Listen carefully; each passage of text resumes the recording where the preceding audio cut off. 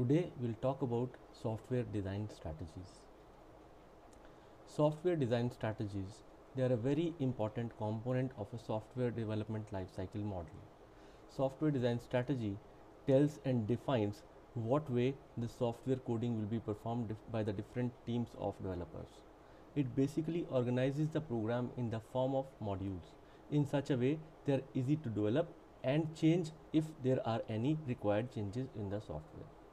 Structured de design techniques help the developers to deal with the kind of complexity and size we have in the modern day software programs. The modern day software programs are very highly complex softwares which have high requirement of number of lines of to be coded, the kind of functionality they desire and many more such associated factors. So software design basically design decides what kind of software we are going to make, what quality of software we are going to make. So this phase becomes a very very vital phase and it also helps create analyst uh, create instructions by the analyst which help developers to know what kind of code is to be written in a particular situation in order to fulfill any functional requirement of the software. The basic importance of software design is that if we have any pre-existing code with us and we want to know what kind of design was used to make this code if we want to re-engineer that code if we want to make some changes in that code all those things can be done only with the help of software design. And also when we are making a new project it is a very common practice for the project team to have write some code and produce original programs that support the application of the system for that software design is very very important. Design plays critical role. It works as a catalyst which helps make a quality product at the end of the day for the software organization and ultimately for our client. There are different software design strategies. Broadly, we classify the software design strategies into two categories top down design, also called the function oriented design, and the bottom up design also called as the object oriented design. Starting with top down design, top down design as the name signifies, we move from top to bottom. What is this top and what is the bottom level? That is to be understood. Top means we look at the software with all its functionality that it will deliver to us when the software is finally developed and delivered to us. So, in top down, we identify the major components of the system and keep on decomposing those systems into subsystems with lower levels of functionality. The top level has major components of the system, have defined major functionality of the system. This functionality is decomposed into further sub-levels, further sub-components which have their own functionality, their own definitions and we keep on decomposing these sublevels into further sublevels. keep on creating further sub functionalities and we reach a point where no further sub leveling is required whether no sub levels are required to be created because we have reached a level where our functionality for a particular sub level is very very clear to us and from here at from this particular point of time we can go for developing those sub levels and knit the system into a bigger functional entity called the software system. It is a stepwise refinement model. We go step by step. We start from an abstract design and we keep on refining the software at each iteration and finally reach a level where we understand what actually is required to be done in implementation. This type of strategy is suitable only if the requirements are very clearly known to us. We have a clear vision about what actually we are going to have in the finally delivered system. And we have a scope of developing the system from the scratch. This type of approach is generally used if we are using a waterfall type of process development model for our software, wherein each phase is adopted in a sequential manner and we have a lot of scope to entertain that particular uh, stage for its improvements, for its well working and all that. There are different advantages of top down design.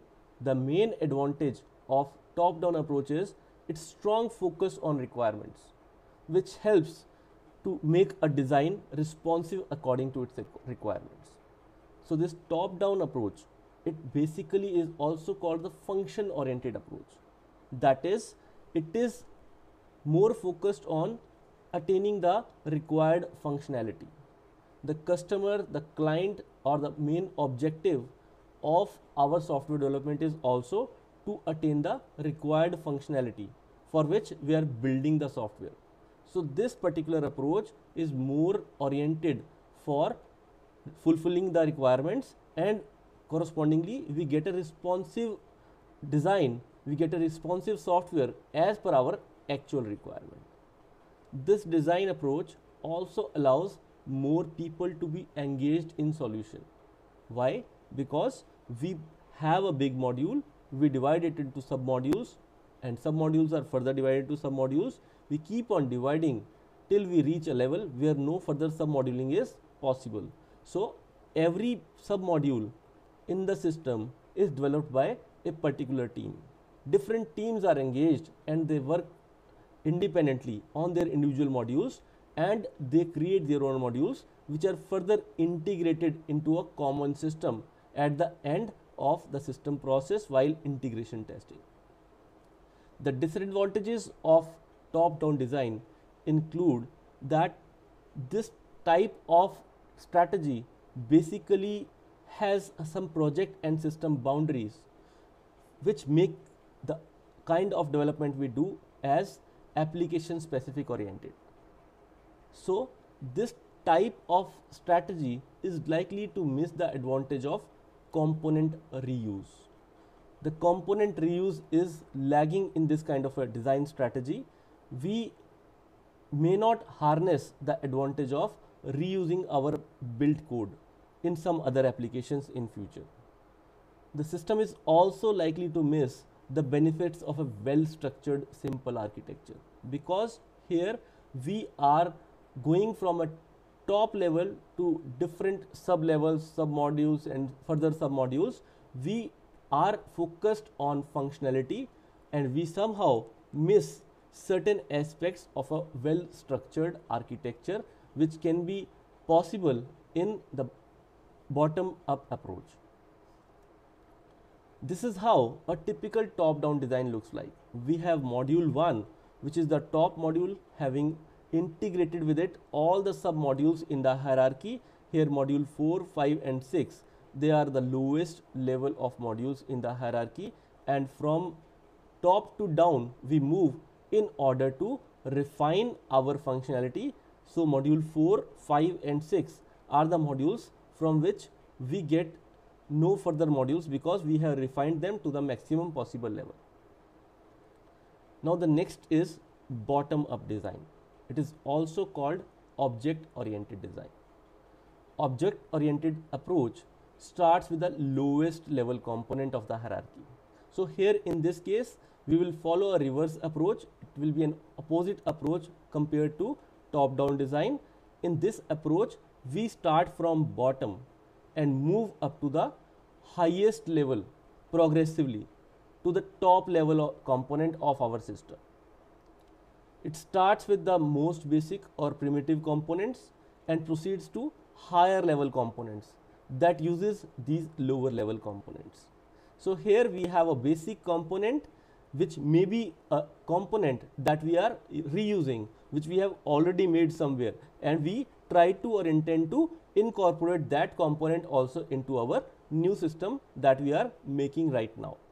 The amount of abstraction grows higher as the design moves more and more to higher levels. So, here we try to make the things more abstract to uh, the system and to the viewers as we reach the higher layers or levels of the system design. If an iterative enhancement type of process is followed, this approach becomes very very suitable because in this approach we keep on enhancing and refining our system as we keep on adding more higher layers to our system. So, we can create in this case we can create a system that has some functionality in the beginning and we can keep on adding more functionality to our, to our system in the iterative stages. So, this model basically starts functionality very early in its life cycle and more features can be added as we grow up in the development phases. So, this is a typical bottom up design. We have lower levels which cascade and connect together. Each of the lower levels has some identified functionality and these lower levels connect to each other and provide higher levels of functionality and ultimately reach at the highest component level in the system. The, the advantages and disadvantages of bottom up design. The advantage which is very peculiar for bottom up design is that it promotes reusability. We can use some already existing components which have been built for some other applications into the new application being built. The second is this bottom up design can be used to hide the low level details of implementation. So, as per our need, as per our requirements, we can hide details of implementation and we can use this feature very powerfully in order to implement the security requirements of our system. The disadvantages of bottom up design include it is not so closely related to the structure of the problem. It leads to the generation of potentially useful functions rather than most appropriate functions.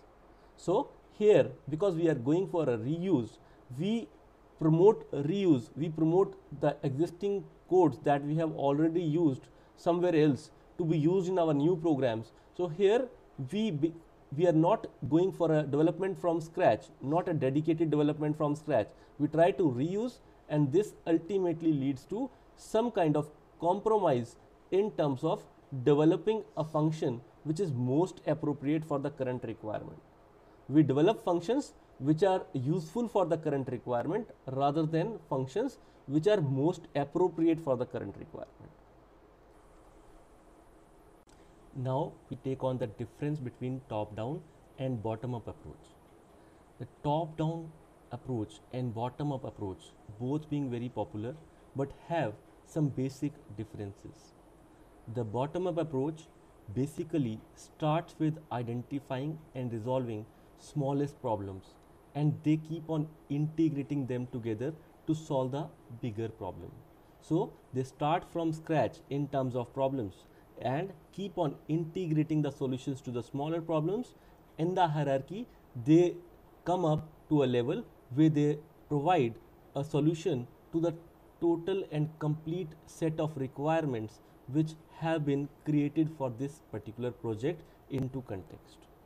The top down model basically focuses on breaking the bigger problem into smaller ones. So, it starts from the complete set of requirements and keep on creating modules and submodules till a level is attained where all the requirements are addressed. In the top down case, the model knows what are the exact requirements a customer needs to be fulfilled in the final solution delivered to him very well in advance.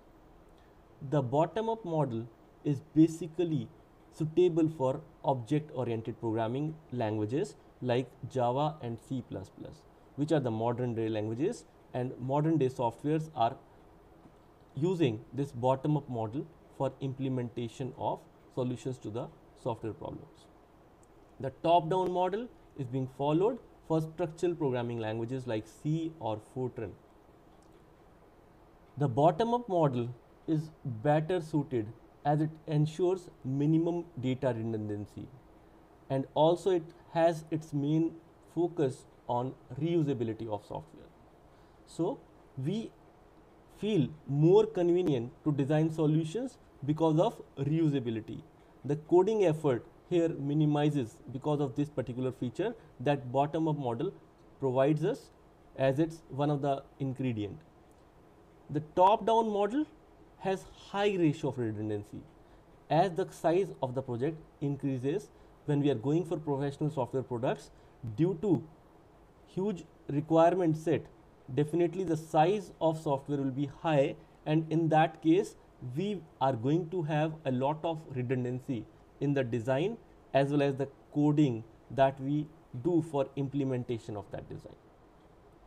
The interaction between various modules in bottom up model is very high and this basically makes use of the object oriented programming. While in top down model this tight coupling and there is low interactive between various modules.